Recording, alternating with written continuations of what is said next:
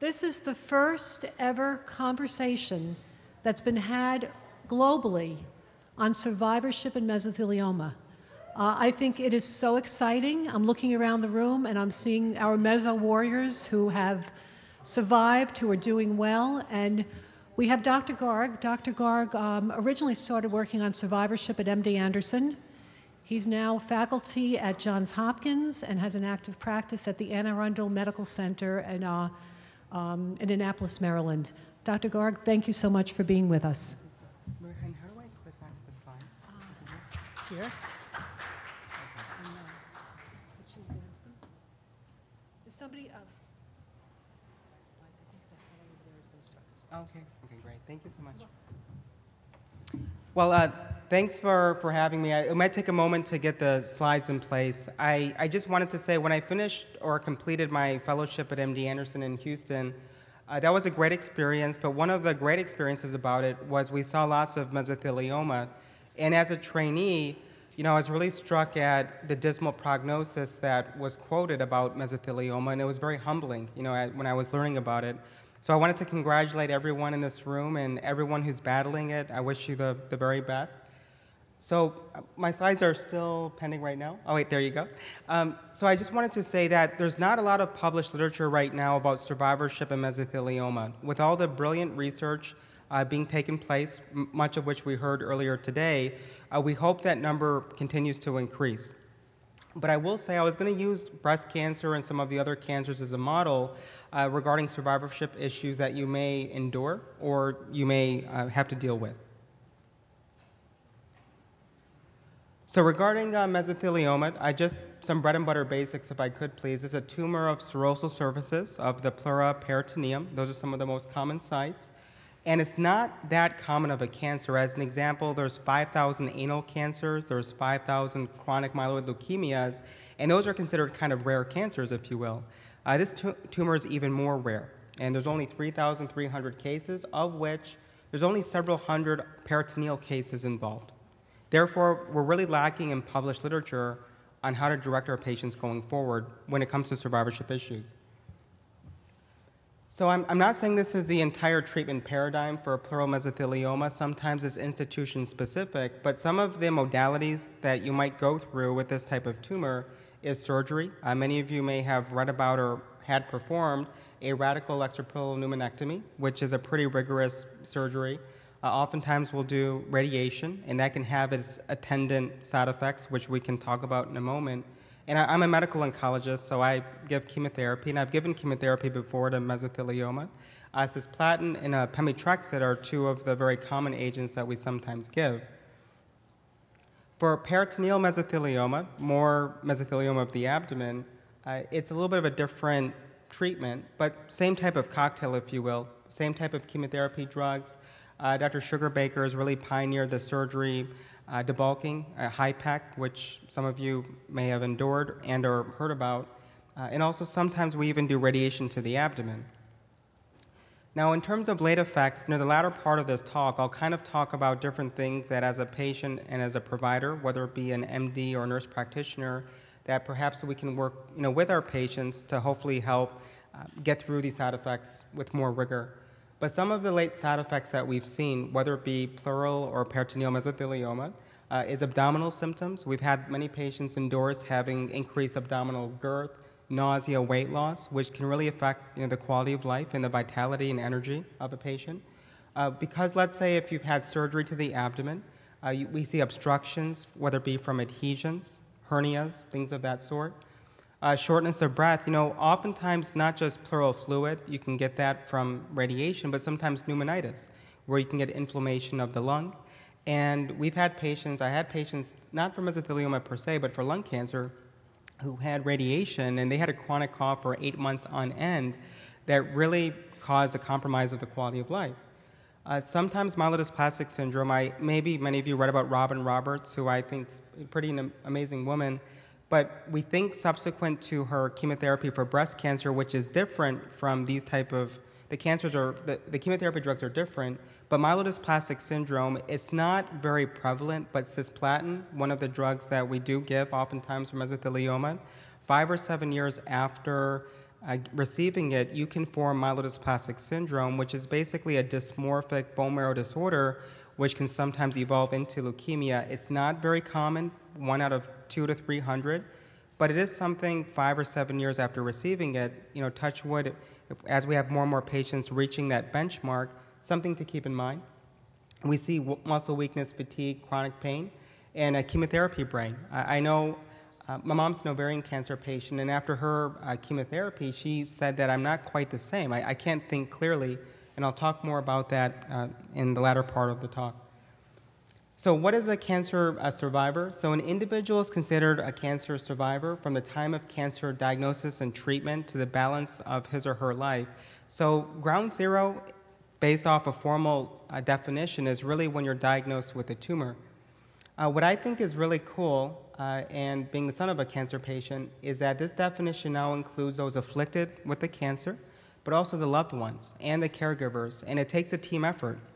I know cancer really does affect not only the individual patient, but loved ones, friends, and, and I'm glad the NCI incorporated that as part of the definition of a cancer survivor.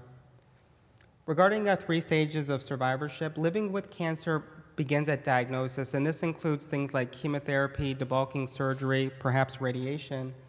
Uh, living through cancer, uh, this is a period following treatment and in many ways, this is the most anxiety provoking time for a patient because, you know, oftentimes when you've run the gamut of treatment, whether it be surgery, chemotherapy, radiation, it can be very nerve wracking that if I'm not getting better, the cancer is going to come back. If I'm not receiving treatment, you know, how do I know the cancer is not going to creep up and get me? Uh, so that's actually part of the survivorship as a medical oncologist, understandably so in many regards, that I think patients are the most scared. Living beyond cancer is, is long-term survivorship, and some of the psychosomatic uh, and organic complications that you might have endured because of the treatment.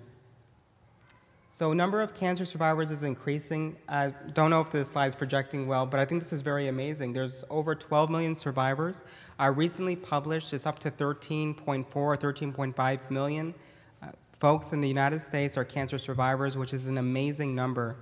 And as a, as a general medical oncologist, um, in our literature, even preeminent journals, we're reading more and more about survivorship, not so much with mesothelioma quite yet, but breast cancer, colon cancer, and I think that's really cool. I think it's a credit goes to a lot of scientists who've pioneered a lot of great findings, and also to patients, many of whom were brave enough to enroll in clinical trials, which have really advanced the field. So about 67% of adults diagnosed with cancer today will be alive in five years. This is for all cancer, uh, mind you. And over 20 million U.S. survivors will be expect cancer survivors will be expected by 2020. So I think going forward, we're going to see a lot more published about cancer survivorship. Regarding estimated number of persons alive in the United States as of 2007, you know, most patients who are survivors are over 65 years of age, and you know, oftentimes as we age, um, it, it, takes a little bit harder time to recover from different things, whether it be fatigue and shortness of breath. Uh, but even our younger cohort, 20 to 39, we're seeing more and more patients afflicted uh, with cancer. Now, in terms of the type of cancers, you know, breast cancer and prostate cancer, if you look at the pie chart, are the most common. And, and because of that, most of the survivorship literature is culled from breast cancer, prostate cancer, and colon cancer if you look at the chart, you know, lung cancer is about 3%, which isn't a huge number. And if you pare it down even more, a lot of lung cancer is small cell, non-small cell. You know, pleural mesothelioma is a lung cancer, um, so there's not much written about lung cancer survivorship, let alone mesothelioma yet, but I hope uh, there will be going forward. So this is kind of a triad uh, of three different things. When we talk about survivorship with many of our patients in our, in our cancer center, we kind of take a three-pronged approach. You know, as a medical oncologist, when I was at MD Anderson, I was so focused on learning the clinical trials, the chemotherapy, because that was going to be my role. You know, I was going to be the person who gave the chemotherapy. But a lot of these things are issues that come up with many of our patients, and and I think that we're becoming more privy and aware of them. Like so, physical after treatment, we have many patients who come into clinic, you know, with fertility issues, fatigue, sexual dysfunction. A lot of it can be from you know chemotherapy too, and that can cause a huge ramifications for the personal life of a patient. You know, psychologic, you know, we have many patients who endorse when they, you know, come into our clinics, they're just so consumed with fear that how do I know the cancer hasn't come back? How do you know for sure? Is there a blood test that you have that can tell me with 100% certainty? Uh, and it can be very difficult for them, even if they have a successful CAT scan result, uh, to really move forward with her life. Uh, and and that, I can really respect that. You know, socially too, uh, we've had a lot of patients who tragically lost their job and they were the only source of income for their family. And and even their children. You know, many would just break down in clinic sometimes that I have a seven year old. I, I, I, I'm the only one there for them. I lost my spouse many years ago. It's a very scary time. So, part of the concept of survivorship is to really address all these issues that sometimes, as a medical oncologist, we don't always get a chance to or time to. Um, and we have nurse practitioners now in our survivorship uh, clinic for breast cancer who really do focus on these issues, which I think is fantastic. So uh, the Livestrong is an, a pretty amazing organization, and the next three slides I just want to spend a little bit of time about. But if you look at the darker blue line, these are concerns endorsed by a patient. So if you look at physical concern, let's say neuropathy, that tingling sensation that sometimes cisplatin can cause, most of it goes away, but 5 or 10% of the time it can be more long term. But if you look at neuropathy, 40% had it, but only 40% or 60% didn't even ask about it or seek help for it. Uh, so this is an unmet need, you know, where patients may have lots of issues that may seem nuanced or subtle, but are really important. And so this, these are things that we have to be more aware of as a caregiver team. Emotional concerns, um, two of the lines didn't show up, I apologize. But let's say for family member risk. So 50% had a concern that will one of my loved ones be going through the same process as me? Will they be predisposed to having this cancer or not? Uh, will my son or daughter or my spouse have uh, mesothelioma like I did? And only a lot of them had this, but most did not seek help. Another unmet need. And practical concerns, and you know, especially we live in a very tough time economically. Being from Michigan, um, it seems like all my friends that I grew up with, many of whom lost their jobs, but a lot of people do have employment issues. I, have had patients who are sharp as a whip, um, who, after going through chemotherapy, running the gamut of treatment, they didn't really have, a lot of them didn't feel as sharp, eh, even on job interviews, and a lot of them tragically lost their jobs. It can be very difficult. So basically, to put a summation to the previous couple slides, not all needs are being addressed. And this was one article that was published in 2009 just to be evidence, you know, based about it. And a lot of patients feel that after going through cancer treatment that, you know, I have a lot of unmet needs. You know, after going through all these things, I, I have altered body image. A lot of our breast cancer patients feel that way. Um, weight gain, and a lot of stress in the family, you know, relationships, finances. And a lot of these things are not being addressed necessarily by the caregiving team. So, one thing as oncologists, I think this is being promulgated more and more, is that it really takes a team effort, not just as a medical oncologist, but primary care doctors. And so, uh, one thing that at Anne Arundel and all over the country we're starting to do is to let primary care doctors know, uh, you know, what type of surgeries you've gone through what type of chemotherapy drugs you received, and what are the attendant side effects, short and long term, that you may incur. Same with radiation. And also in our survivorship clinic, and this is not unique to ours, but all over the country again, is that surveillance strategy. Who's going to order my CAT scan for surveillance? Is a surgeon? Is a medical oncologist? Is a radiation oncologist? I had one patient uh, laugh that you know one time she had three requisitions for a CAT scan, because every medical oncologist taking part in her care had written a requisition for it. And it seems kind of you know, redundant to some degree. And, and I think this patient had a feeling that are they not communicating with each other? Or is my radiation doctor, chemotherapy doctor, primary doctor? You know, so sometimes as a survivor, we want to have a team approach and make a patient feel that everyone's talking to each other. So this didn't project uh, very well, uh, but Sloan Kettering, uh, this was just as an example of a survivorship plan that we're starting to give patients. And if you can't read it because the, the writing's kind of muddled, it just talks about you know the surgery, the type of surgery. This was a breast cancer patient.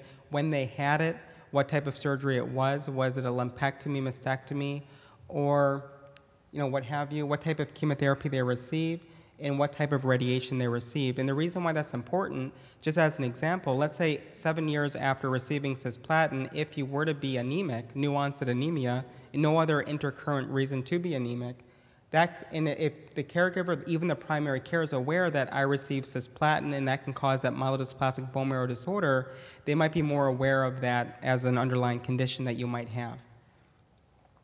So the Commission on Cancer of the American College of Surgeons, uh, just to put a one-liner to this, by 2015, they really want um, the caregiving team to have a compendium, you know, one to two or three pages of a care plan. You know, what type of treatments the cancer patient received, uh, what doses, and I think that's great because this helps the patient be their own advocate too and make sure nothing's missed.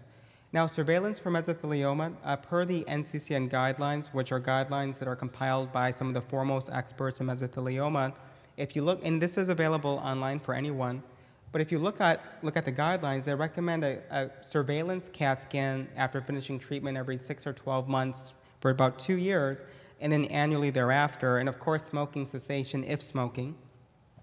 So, one question that we get asked a lot, and at University of Chicago we did, at MD Anderson we, do, we did a lot, is that do CAT scans in and of themselves cause cancer? And if I'm a CNN junkie, I always watch that with my wife in the morning. And you know, one, I even think many months ago there was kind of an expose on you know radiation exposure.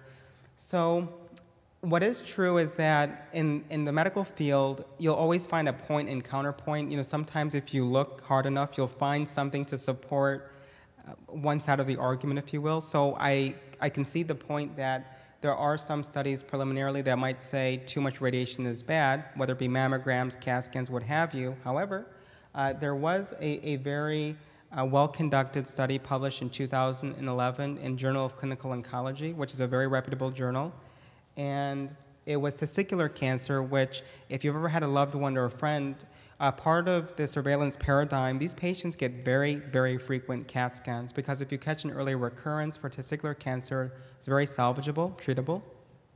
So, this study of over 2,500 patients with testicular cancer underwent CAT scans for surveillance, and they were observed for 11 years. So, that's a pretty good long term follow up. You know, I'm just saying. Uh, so, during the first five years, they underwent a median of 10 CAT scans of the abdomen and pelvis. So that's a lot of exposure, and this is with iodine contrast. Only 14 patients out of 2,500 were found to have secondary cancers in the abdomen and pelvis. Now, that number, you could make an argument, well, there's 14, but that wasn't statistically significant. So that could have been just quote unquote bad luck. So this study uh, did say that getting surveillance CAT scans really is not felt uh, to lead to more secondary cancers. So I, I, do agree you shouldn't do them every three months or every uh, you know six weeks. Don't go overboard. Uh, but I just wanted to mitigate some concerns that some may have uh, with that. So why cancer uh, survivorship is important? So one in every 25 Americans is a cancer survivor. There's long-term medical and psychosocial side effects, and oftentimes you know, there's a lot of other secondary problems that happen. Sometimes chemotherapy or radiation can lead to other uh, problems besides cancer. You know, heart disease is still the number one killer that we have uh, in the United States.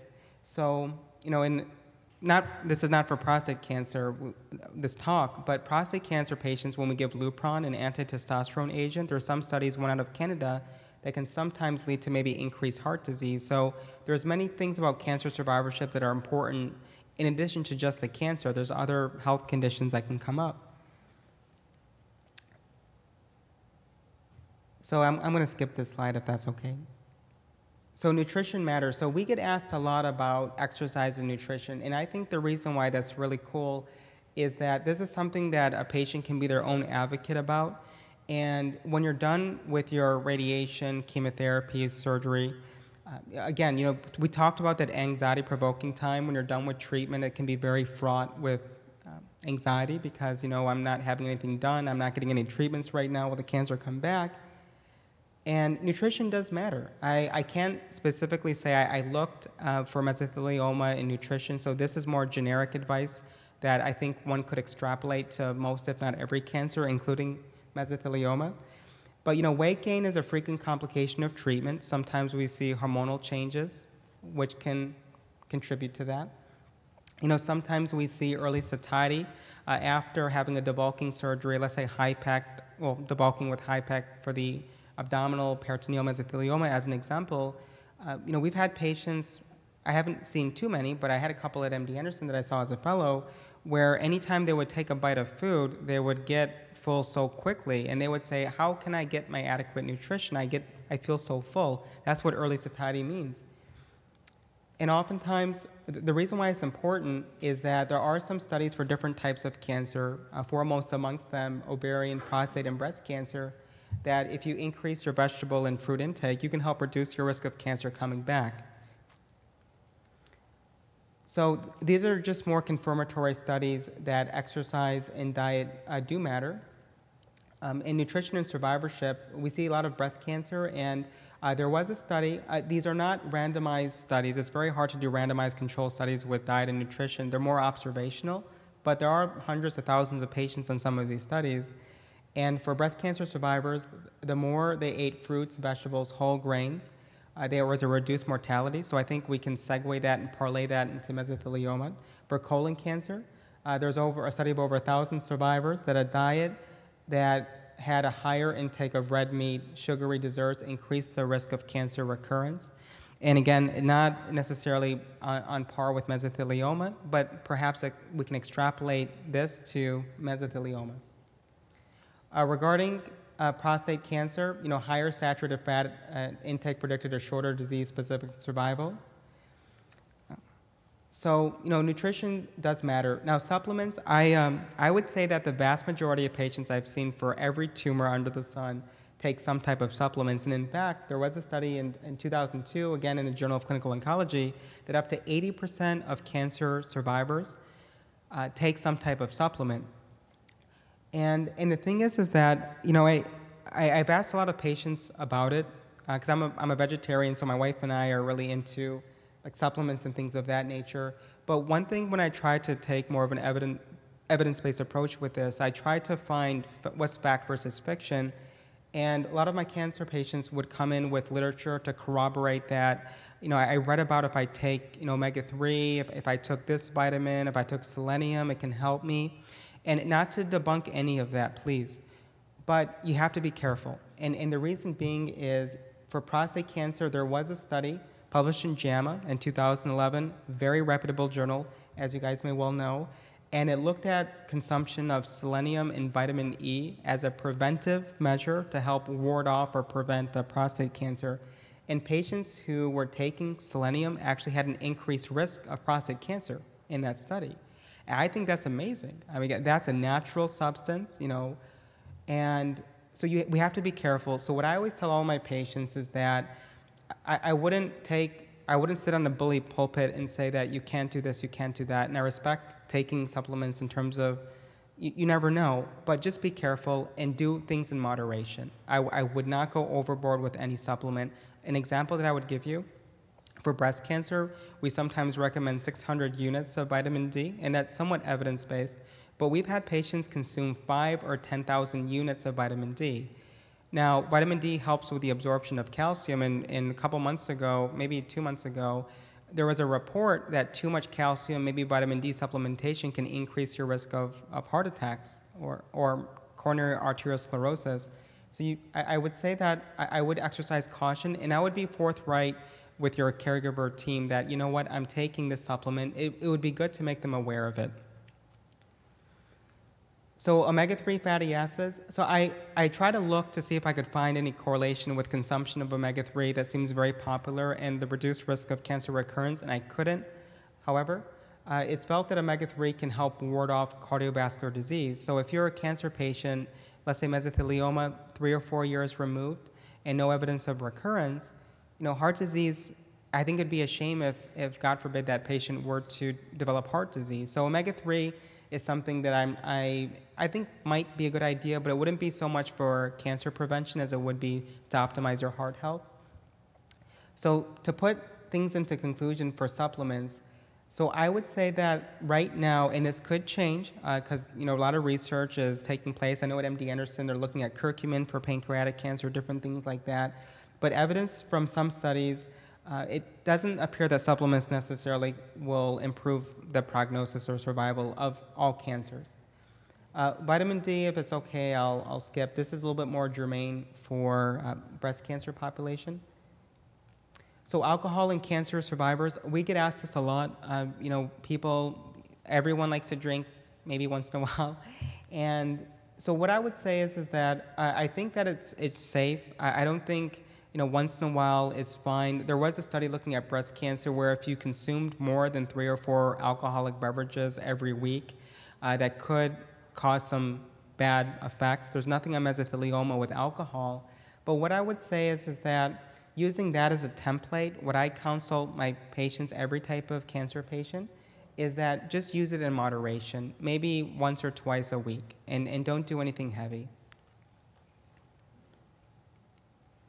So regarding overall recommendations for food nutrition, so I would recommend an adequate uh, protein intake. You know, fish, lean meat, uh, eggs, dairy, uh, nuts, tofu. If you're vegetarian like me, I eat lots of tofu. Uh, increased fiber intake. The reason why I recommend this is uh, my mom actually had a, a, lot of problems with constipation after her ovarian cancer debulking surgery. And for some patients with peritoneal mesothelioma, you may be having to battle that. So I think that you know fiber intake can help, help keep your stools regular. Constipation is very uncomfortable, especially if you have some residue uh, adhesions, if you will. It can really exacerbate that. So keeping yourself regular with stools can really help. Uh, low amounts of saturated fat, I, I think, makes sense uh, based off published literature to help reduce the risk of cancer coming back and also just for your overall health. Uh, high carbohydrates, I, I do recommend for all my patients two to three cups of vegetables and fruits every day. And one question we get asked a lot is sugar feeding tumor. If I eat too much uh, sugar, will have an increased risk of cancer coming back. And I think it's an interesting discussion, and pathophysiologically, I can understand why. Because we think of cancer as a Pac Man that's voracious and it's consuming and it needs sugar to grow. But there's really no definitive evidence that that's the case in terms of diet. So, what I would say is, I wouldn't go out of my way to not consume sugar, but I would use moderate doses. Uh, regarding other recommendations, smaller, more frequent meals I think helps. You know, oftentimes we've had patients after debulking surgeries in the abdomen where they, if they eat too much at once, they can get very uncomfortable. And, and, and then, you know, part of it, the issue is a lot of them feel, okay, is my cancer coming back? This is how I presented. So I would say eating smaller, more frequent meals is the way to go. I'm a big fan of keeping hydrated. I, I think that even when I used to do internal medicine back at Johns Hopkins before I became a, a cancer a doctor, uh, I think dehydration is a big issue, especially in the summertime and the heat. So I'm a big fan of drinking water, but if you do it in between meals, you can kind of get the nutrition from your food and you can get the hydration in between. That's kind of a game plan that I, I think sometimes helps. Uh, if, you're, if you're having trouble eating, whether it's nausea, vomiting, that's chronic in nature, whether it's subtle abdominal pain from eating, uh, whatever you eat, you want to make it count. Uh, so I'm a big fan of these protein shakes sometimes. Um, just because, if nothing else, if you can get 40 to 50 grams of protein a day, that can keep your energy up. Uh, referral to see a registered dietitian, I, I think they, the dietitians do a great job, and in many ways they're more well versed than I ever could be about food. Uh, so sometimes if I have a patient who's endorsed having, let's say, a 20 or 30 pound weight loss uh, post treatment, and they're not gaining any weight six months to a year afterward, I'll send them to a nutrition, a nutritionist, and I think they do a really great job. So importance of physical activity, uh, I'll talk about the American Cancer Society recommendations. Uh, I think they do a great job uh, putting things together. Uh, but I, I, think physical activity really helps. Uh, there's published literature that activity, 150 minutes of moderate activity every week is what the American Cancer Society has published as being kind of a template, and that includes chores, gardening, walking briskly. That counts, you know. And there's been some studies for you know breast cancer, colon cancer that we can hopefully reduce the risk of cancer recurrence by just physical activity, I think that's amazing. You know, that, that's something that we all can do. Uh, it doesn't have to be running a marathon or anything like that. I, again, gardening, going for a walk with your loved one, maybe a dog, a pet, walking in museums, I think all those things help. And the other thing that I'll, I will say about physical activity is that, you know, it can help your heart. And sometimes the heart, you can get a lot of collateral damage not always. In cisplatin and pemetrexed, truth be told, it doesn't have the same cardiac risk factors as adriamycin would for breast cancer. I can see that point. But, you know, if you're a cancer survivor, you, there can be other medical issues that you can have going forward. So exercise can help optimize your heart, uh, maybe help thwart diabetes from forming. So I'm, I'm a big fan of that. And the other thing that a lot of our patients come in with is fatigue. And we'll send, I'm also a hematologist, so we'll send for their red cells and it's 13.5, which is pretty good, or a hematocrit of 40. We'll send for a thyroid, it's normal. We'll ask them that, are you eating okay? And they're like, yeah, I eat a lot. You know, some say I eat like a horse. And, and we can't figure out what's causing fatigue. And one thing that's been published is cancer fatigue, even post treatment. Doesn't mean you have active cancer. It's something that people are publishing it about. We don't know if it's metabolism issues, hormonal, what have you. We don't know how it's mediated physiologically, but exercise has been shown to help reduce fatigue. And, and, I would say that fatigue is one of the top five chronic side effects I've certainly seen as a medical oncologist. So, uh, lung cancer, uh, th- now this didn't really include mesothelioma in good faith, but still, I, I thought it was somewhat important for this audience, is that uh, there was a study published in uh, 2011 that it was a review of 16 studies, and it looked at over 600 lung cancer patients, and it showed that exercise, both before and after surgery, uh, really helped patients with um, their fatigue went down, their energy level increased, and their mood increased too. All of which I think are very important. so overall recommendations I have for we talked about nutrition overall for exercise. I think exercise can increase energy.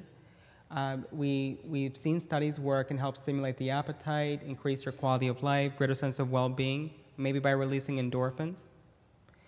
Um, you know, sometimes I, I, I, think that you know, emotionally, we talked about it, and I'll talk about it uh, in, the, in the latter part of the slides, but you know, we see a lot of patients who have the dual issue of energy fatigue and also mental fatigue. It's a heck of a lot to go through with any type of cancer, emotionally and physically, so I, am a fan of yoga and Tai Chi. I, I think some of these mind body type things, I call it two for one, I think they're very good. And it, I'm not saying it's right for everybody, but it's something that you might want to explore perhaps. So we talked about moderate activities. So American Cancer Society, again, they kind of talked about the things we talked about. You know, if, you have, if you're a little bit overweight, um, limit high calorie foods, increase physical activity, diet should be rich in vegetables, fruits, and whole grains uh, regular physical activity, and that 150 minutes a week, uh, I think that's just a good template to follow. If, if you do any activity is better than no activity, but I think that's a good number that's been published and somewhat vetted out. Uh, so just a couple specific side effects. We've already touched upon a couple of these, uh, but fatigue, uh, some consider to be the most common side effect of cancer treatment. We've had many patients say that, you know, I'm so glad that my, my cancer is gone, but I, I don't have any energy. I'm not, I'm not the same person I was two years ago, you know, before all this happened. And oftentimes, even sleep, we've had patients sleep 12 hours a day and they don't feel restored.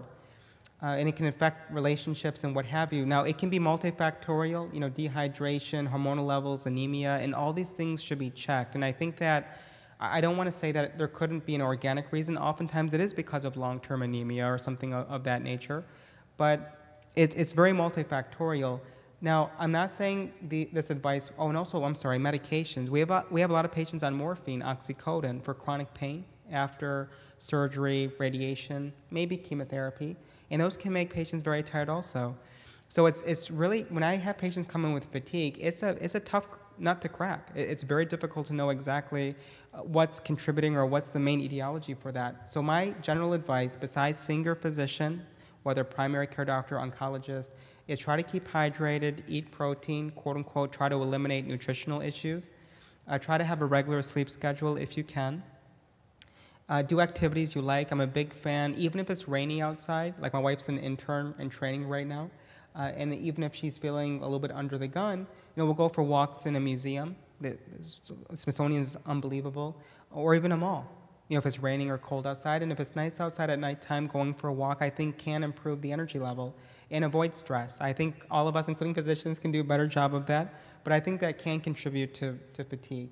Uh, memory problems, you know, I, I think this is a, a, legit thing because there was a study that came out looking at MRIs post chemotherapy for cancer patients, and there were some um, anatomical changes to some degree uh, to the brain after treatment. So I, when you hear the term chemo brain, I don't think that's hogwash. I, I think there is going to be more literature published about it.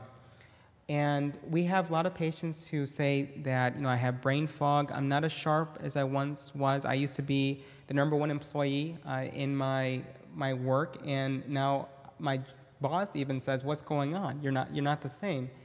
And that can be due to different things too. Sometimes chemotherapy, maybe sometimes different medications, unbeknownst to you or unbeknownst to us as a caregiver team. So some advice I give my patients is that, you know, write things down I don't think there's anything wrong with that. You know, uh, my mom did that. You know, after her treatment when she had trouble remembering things, and I and I think it's just kind of it kind of gives you a template to work with. Uh, repeat things in the mind. I as when I was in training, I did the same thing too. You know, just repetition can really help. Uh, and we've had patients who've gone to work before and said, I've forgotten the names of colleagues, and it's so embarrassing. I've worked with them for 10 years. And what I've told them is that, you know, sometimes before going to work, kind of write some names down. You know, it, that way it'll be more at the tip of your tongue.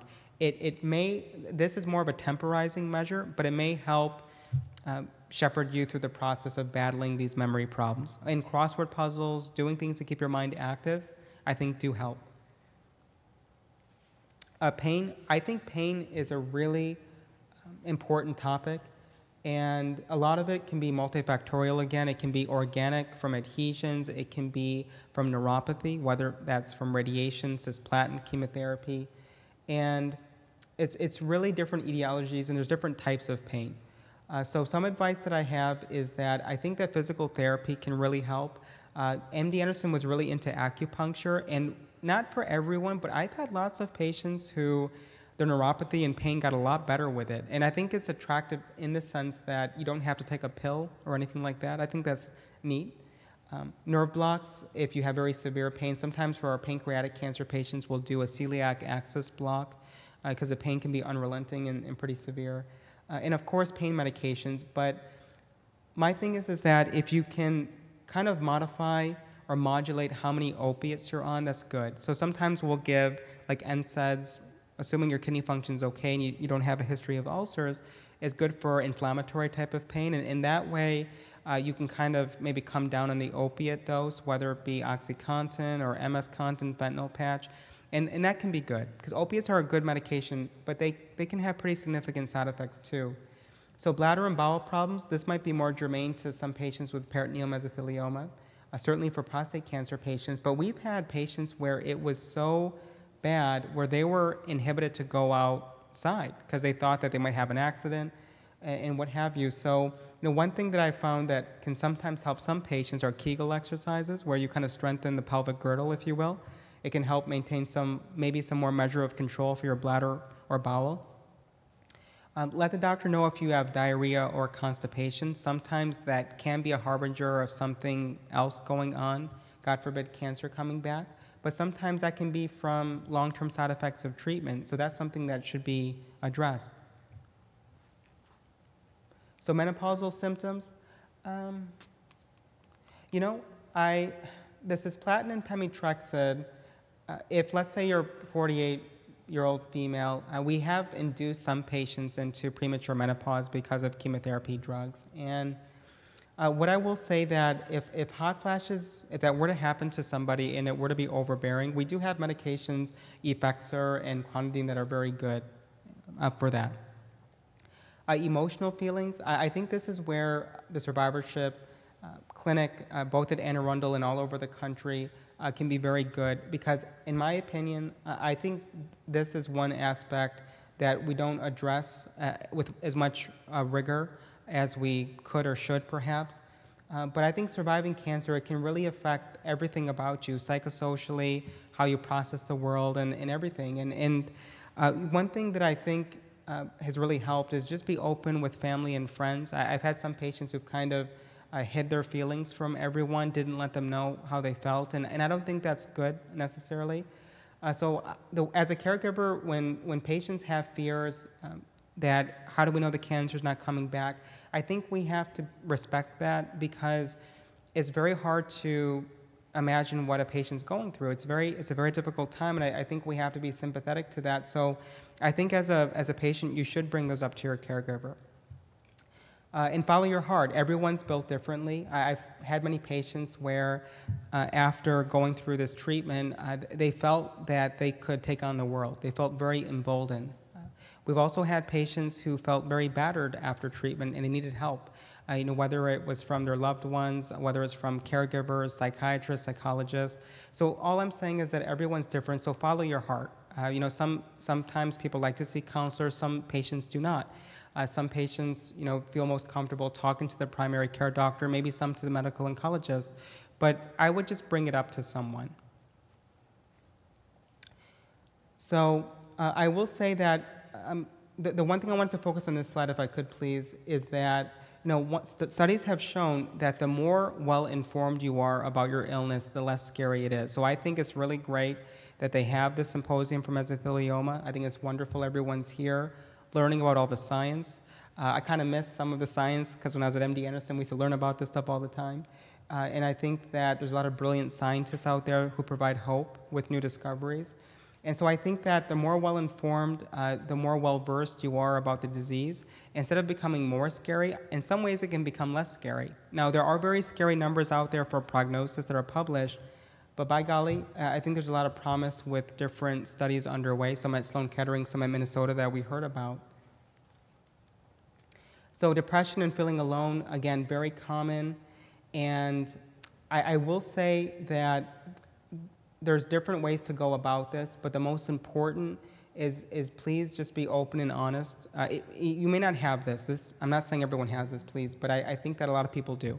And it's been published that the majority of cancer patients have a component of this. Uh, and I would say bring it to someone's attention. And if they uh, don't provide the, uh, the ear that they should, then seek someone who will, whether it's a counselor or somebody. Just be your own advocate when it comes to this. So I have, I've got, uh, I was trying to make a top 10, but I think it's a top 11 list. I was trying to be like David Letterman. Uh, but some survivorship advice altogether, emotional well-being. I'm a big fan of, you know, support groups, becoming cancer advocate, turning a negative into a positive. Uh, number two is physical well-being. Big fan of exercise. It doesn't have to be anything major league, but just by walking, gardening, you know, doing the things that you enjoy doing even before the cancer diagnosis. Um, if you do happen to have a history of smoking and heavy drinking, you know, please try to curtail that. So eat healthy, what does that mean? Well, like we talked about, two or three servings each of fruits and vegetables. I think increasing fiber to keep your stool regular is good. Uh, for reducing stress, and that can be through many different ways. You know, we have yoga, different hobbies, spiritual, uh, deep breathing, anything that you can provide, finds, you find comfort in, you should do that. Uh, health screenings, you know, a lot of our patients, even who are four or five years from cancer, you know, one thing we try to remind them is that, hey, you, you know, you're back to baseline. You know, so uh, we do recommend that they get their vaccinations, colonoscopies, you know, things that they would otherwise. Uh, being a cancer survivor, um, it's pretty special, you know, and and I think that everyone, it's never too late to change. And, and we've, I've been really amazed and humbled. We've had a lot of cancer survivors and different types of tumors who may have had some maladaptive type behavior patterns, maybe I'm just saying smoking or things of that nature, and they quit. And, and I think that's really cool. Uh, it's never too late to make a turn for the better for, for all of us. Uh, be, number seven, becoming an advocate for other patients, like a lot of you are doing here, I think is awesome. Again, turning a negative into a positive. Uh, we've had patients do a lot of fundraising, cancer research, which is awesome. I think lung cancer and mesothelioma are underfunded if you look at it. I mean, look, look at breast cancer and colon cancer, and I'm glad they are. Th- those are important diseases. But I think lung cancer is really underfunded. not just mesothelioma, but small cell, non-small cell. And a lot of people say that it was it's your fault because you smoke, and it's not true. I, I think there should be more funding, and, and I think that a lot of patients have really, um, they really have been the forebearers for really increasing that, and I think that's really neat.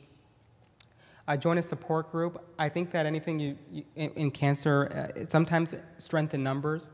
Uh, when you have had know of people who've gone through the same treatments, uh, through the same scary numbers, um, it can be pretty empowering, and you can find lifelong friends. Um, I would say that couple counseling, you know, after treatment, a lot of our patients maybe don't feel as intimate you know, and th- that's an issue for quality of life. And so we have we send a lot of our patients to uh, sexual counseling, or sometimes the gynecologist will have different lubrication for physical things that may be an issue. Uh, and I think it's something that is being more published, and it should be. You know, it's important for a lot of patients. So, uh, number ten, oncology social workers. Uh, I think they do an amazing job. Our nurse practitioners and uh, social workers at Anne Arundel and, and at MD Anderson and, and Johns Hopkins, uh, before that, they do an amazing job. And, and as a medical oncologist, I, I can't, we can't do our job without them. They're, they're, they're pretty huge. And so, and oftentimes they'll talk about things uh, like financial issues, um, things of that nature. And it really takes a team in oncology, not just radiation oncologists, surgeons, and medical oncologists, pathologists, but social workers, nurse practitioners are, are hugely important. And so um, I really appreciate what they do. And the, the last thing, number 11, uh, survivorship programs. Uh, we have one in breast cancer. We hope to expand it to different tumor subtypes. I think uh, like MD Anderson and a lot of other places have them now, and I think they're a really cool opportunity. So this is a survivorship clinic at Anne Arundel. This is only one slide about it. It just it's a nurse practitioner run. Uh, I helped out a little bit with some of the medical nuances, if you will, but all the credit goes to them. And it just talks about they, they give you like a treatment plan, like a summary, like we talked about. They talk about when you should get CAT scans, how often, who should be ordering it. Uh, they send it out to all the oncologists, uh, radiation, medical, so everyone's on the same page. And they talk about things like sexual issues, genetic counseling, physical therapy for lymphedema, maybe not so much for mesothelioma, but for breast cancer, we see that a lot. Uh, so I think it's a really neat program. Oh, and, and also there was a six week uh, where, like, once a week, the survivors would get together and talk about their experiences, which I thought was pretty, pretty neat.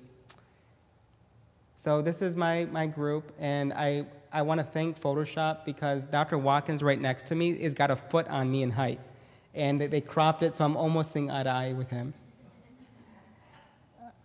So thank, thank you for uh, having me. So, yeah, any, go ahead.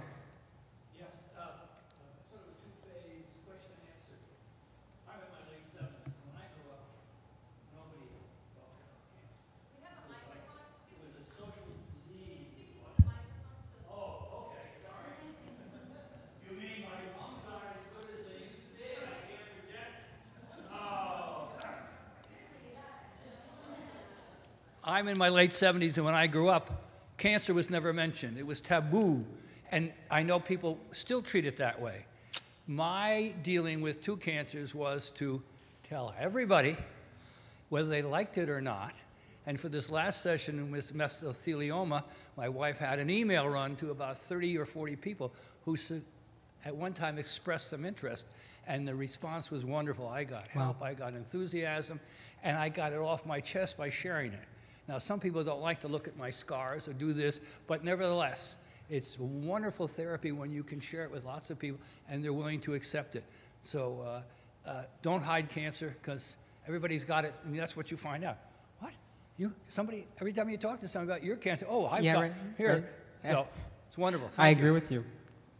Well, I, and I think your comment's exactly right. I think yeah, so yeah, congratulations to you. That's awesome. And and I think you're right. I think the stigma of cancer, uh, we used to call it the C word in residency, uh, has it's being promulgated more and more. We're more comfortable with that term, and and I think that's great that you you did that. And and uh, cancer's become more and more people are surviving it now. We've made great advances, over 70 percent. This is not a death sentence. Uh, we've made many strides, and we'll continue to do so. Go ahead, sir.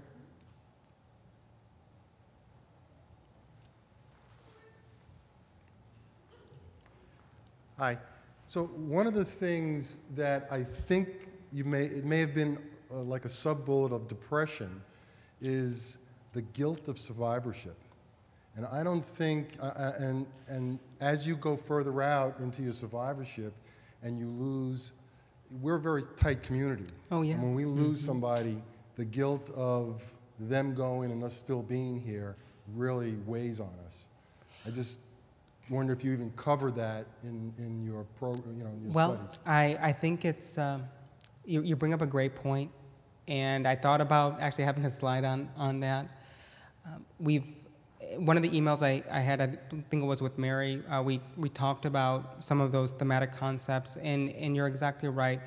I, I will say that, I, I, first off, I, I can only imagine um, you know, what that individual must be feeling. So I, I don't mean to lecture anyone on this, and but I, I, I think that by virtue that you're here uh, is awesome because it's like there's always there's a beacon of hope. Um, you can be an advocate, which you certainly are, obviously, and you know it's one of those things where being having guilt of survivorship, I think of it as really a blessing in many ways, and, and I think that I, I would just use it to the utmost extent to really be an advocate, which everyone you know here is. And so, in terms of having those feelings, I can understand you know why, uh, especially for mesothelioma, where we've had so few patients really survive that five-year benchmark that's been published. But I, I think that by by morphing that guilty type feelings into just being an advocate is really the best way to go. I really do. But that the feeling that you endorse having is really of the few patients I had the good fortune to treat as a fellow, and we've seen one or two at Anne Arundel with mesothelioma. Um, they've all had intimated the same type of feelings you just did. Okay. Thank you. Thank, thank you.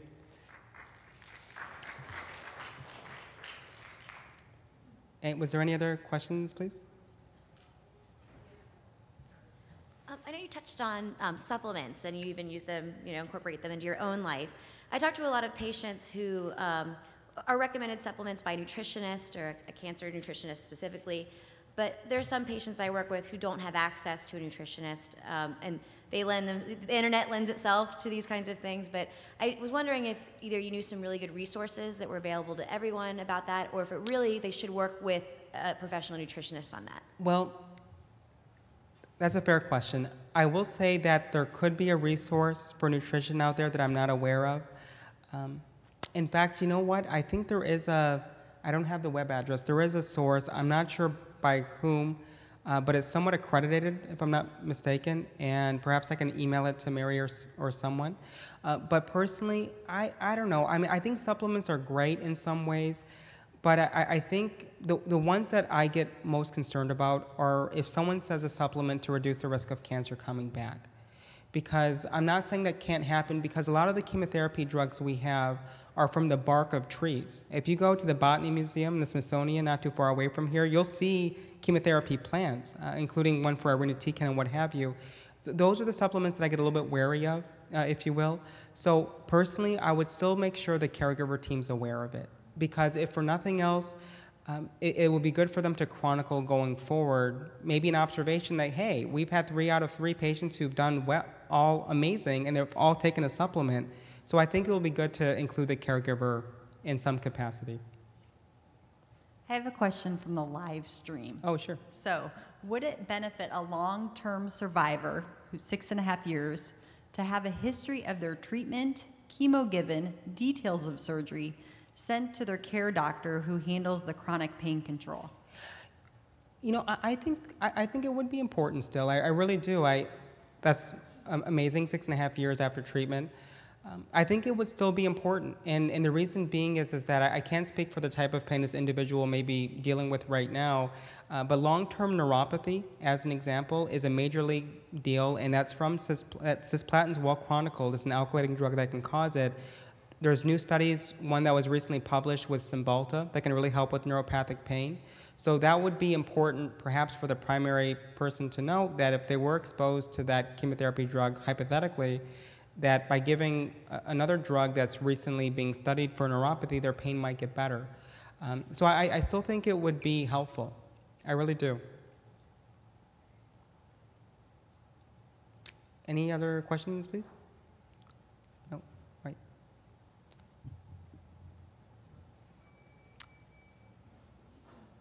So I, did you have a question? Okay, go ahead, please. I'm sorry. M- My question is regarding the quality of life issue. And when you're at, whether it be in a trial and there's a lot of side effects, or whether it just be in your day-to-day lo- living as you're progressing through the disease, Mhm. who is the best um, advocate for you, or the best doctor or psychologist or whatever to help work with you, maybe it's your priest, I don't know, to help work with you on where those, you know, limits are for you. And for every person it's going to be different. But what do you do? I mean, at some point survivorship may become, you know, as you're towards death. Yeah. And h- how do you best deal with that? Well, um, I think it's a great question, and my visceral response to that, I don't think there's a wrong, right or wrong answer. My visceral response would be who you're most comfortable with, and and, I, and the reason why I say that is, if let's say hypothetically, I would say your medical oncologist is your quarterback, if I can use that term. That medical oncologist may or may not lend his or her ear to what symptoms you're going through, so you might feel that he's not, he or she's not listening to me. And in that circumstance, perhaps there is a priest, perhaps there is a counselor that you have a long term relationship with who will be open uh, to that. So, my visceral response to your question would be whoever you're most comfortable with. I, I do, I, I, at least in our hospital, um, it's just for breast cancer, but again, I think the nurse practitioners are pretty amazing. And, and the reason first off, I really respect what they do. But I think on top of it, you know, oftentimes as a medical oncologist, if I could, I'm so focused sometimes on going over the CAT scan results, if you will, and neuropathy. You know, sometimes this is my fault from giving the chemo, and this is a medication we can help you. That in a 15 or 20 minute visit, it, it can be somewhat challenging to really address some of the other concerns that are very legitimate. You know, let's say hopelessness, I'm just saying. So, I think nurse practitioners are, are really critically important. I, I think I think we're going to see more and more of them. Uh, at MD Anderson, we had so many of them, you know. But I, I would say whoever you're most comfortable with. The only corollary or caveat to that statement is that, let's say there is something more medical going on, then you need to have a physician involved to some degree. So, one of your part of your question, I think, which is very good, it becomes very blurred what's medical and what's kind of what's it's kind of a gray area to some degree. So I would take a two-pronged approach. I would go to a, a person, even let's say quote unquote a non-medical professional, uh, for a lot of the, the, concerns spiritually or emotionally, what have you. Uh, but I, I would bring it up to any member of your caregiver team, whether it be the surgeon, radiation doctor, medical oncologist that you feel most comfortable with, and perhaps might be receptive to your questions. And, and it could be a medical issue that's lurking beneath, you know. So I, I would use a two pronged attack for something like that. But there's no, there's no right or wrong answer. Right? Any other questions? Right. Well, thank you so much, and be- best wishes.